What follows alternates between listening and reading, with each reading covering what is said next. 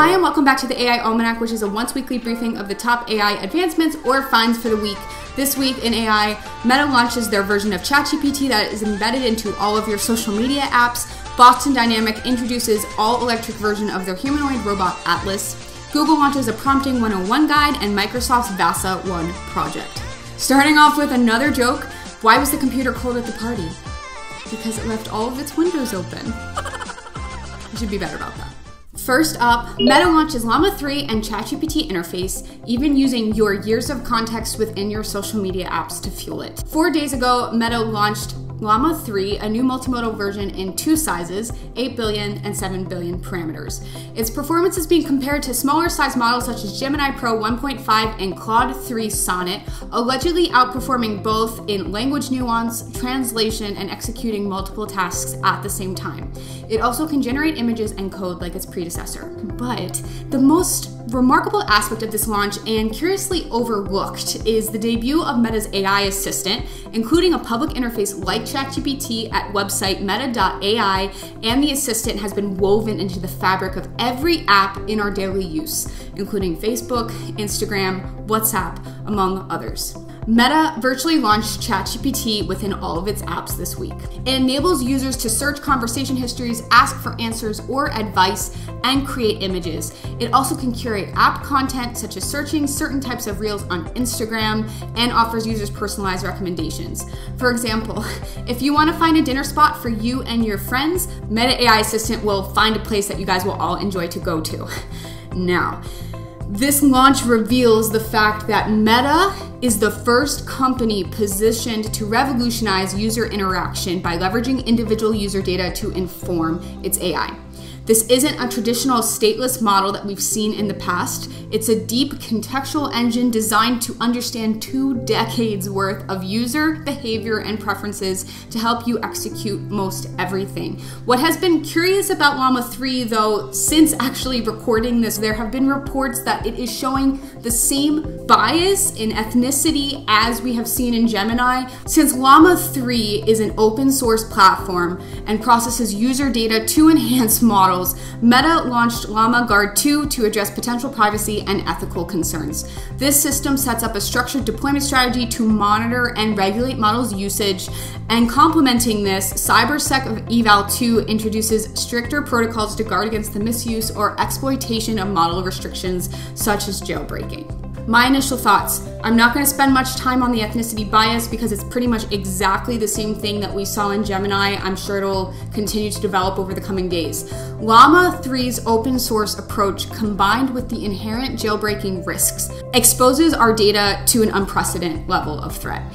Free services come at the cost of privacy, and consent now feels like a facade. For instance, a few days ago, I saw a tiny pop up on Instagram linking my continued usage of the app to agreeing with Meta AI's privacy terms, yet no direct consent was given. I searched for days without ever really finding a clear idea of what I had just passively agreed to, all while the Meta AI Assistant feature had already integrated itself into my user experience without explicit approval.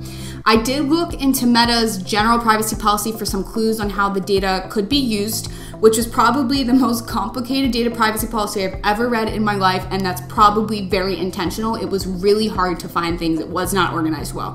Some of the things I found were absolutely horrifying.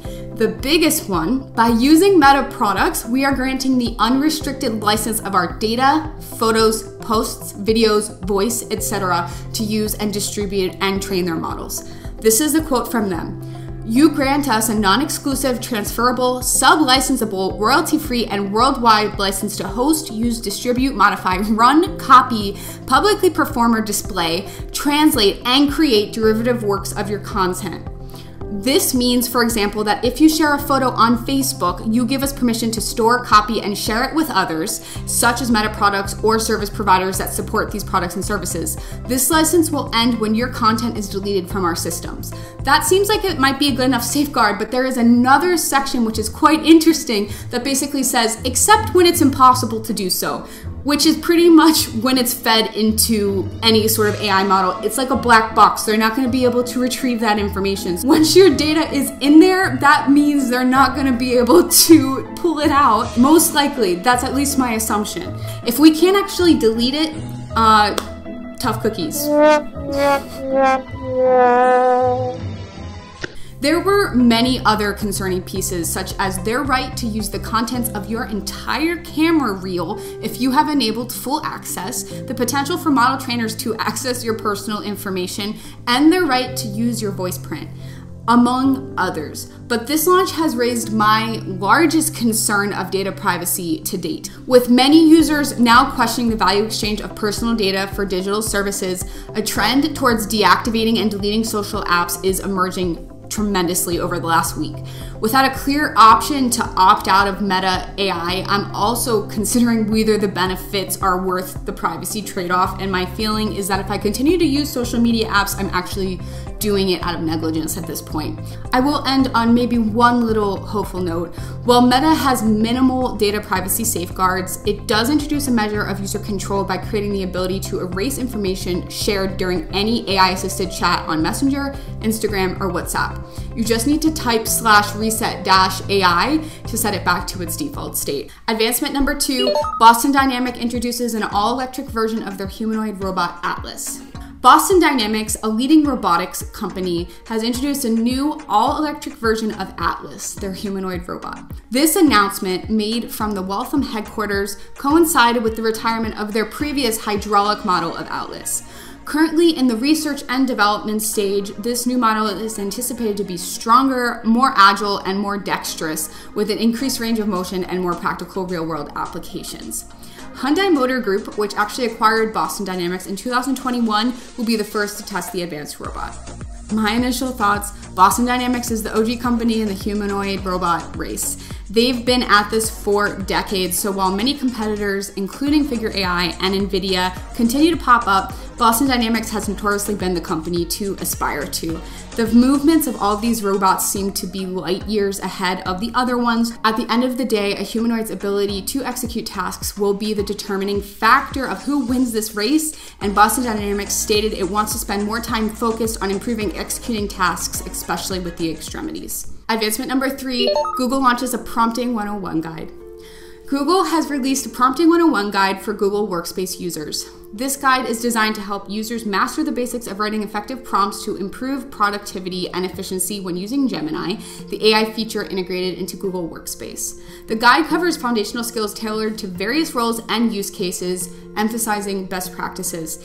It allows users to better collaborate with AI in real time or familiar platforms like Gmail, Google Docs, Sheets, Meet, and Slides, enhancing tasks such as writing, organizing, and visualizing data without compromising privacy or security. Don't think this will only be helpful for Google Workspace users, though. It's a great guide for approaching prompting for all Gen AI environments. My initial thoughts the prompt guide is one of the first of its kind that I've seen and really contains some helpful information relating to specific personas such as marketing, business decisions, etc.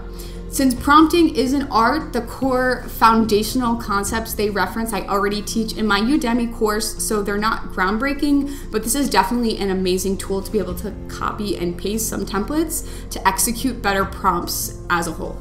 Last but not least, advancement number four, Microsoft's VASA 1 project. Microsoft's Research Asia has developed VASA 1, an AI model that can generate synchronized animated videos of people talking or singing using just a single photo and an audio track.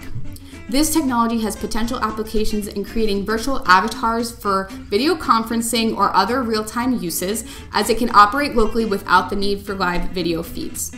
The model, which has been trained on the VoxCeleb 2 dataset featuring over a million utterances from YouTube videos of 6,000 celebrities, is capable of producing high res videos at up to 40 frames per second with minimal latency. This raises possibilities for its use in various communication platforms, as well as concerns about misuse for creating deceptive or misleading content. My initial thoughts we've seen a lot of these image to video generation tools recently, and I think this has been one of the better ones or on par with maybe Synthesia and and HeyGen. The biggest thing I personally noticed was their lack of natural eye movement more than anything. So if you're trying to spot a deepfake, I would look at the eyes first. I'm not kidding, this has probably been my favorite week to date because I have seen for my eyes the potential of all of that user data from social media apps to be used in a way that I don't necessarily consent to. It was the moment I've waited for probably all of these years. And it was so fun for me to really dig into the data privacy policies and figure out kind of what's going on. Meta, if you're watching this, I still cannot find the Meta AI data privacy policy that I consented to allegedly through a pop up on Instagram. So please make that more readily available for your users so we can understand how you're using it. Although I can pretty much figure it out that I have no control over my data. And that's it for this week. I will see you all next time.